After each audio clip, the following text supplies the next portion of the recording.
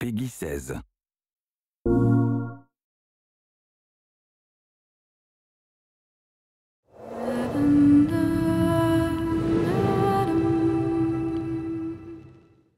Quantic Dream has always been about creating interactive experiences that have emotion at their core. It's about telling the story of characters and giving the player the possibility through their actions to change the way the story unfolds. When I write my script, I have an idea of how I want the story to be played.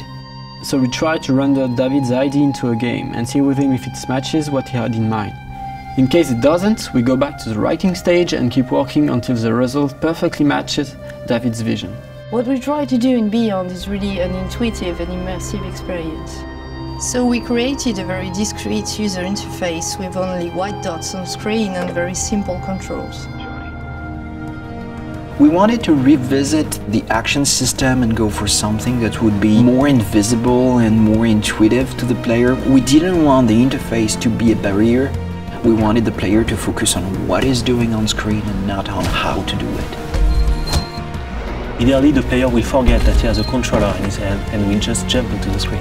One of the major revolutions in Beyond is the way Jodie Holmes moves. Depending on the context, depending on your emotional state, you see character of Jodie moving differently, walking differently, looking around differently.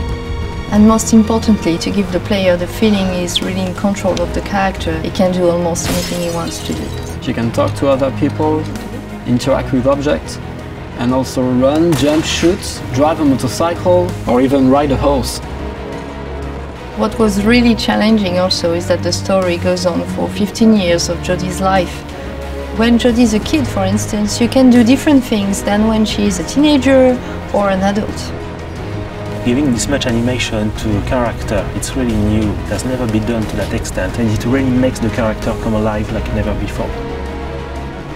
We wanted to have these new mechanics with Aiden. I wanted to give this feeling of flying around and going through matter and through worlds. So we started making some research on how ghosts would move or even a fish would swim underwater. We thought that using orbs is an interesting approach. It would give us this physicality that we need to interact with matter. It became really something natural to assign them to the two analog sticks and have to play with them, to focus them, or on the opposite, to split them apart. During the process of this production, we made what we call user tests. You just watch people playing and you see where they succeed, where they fail.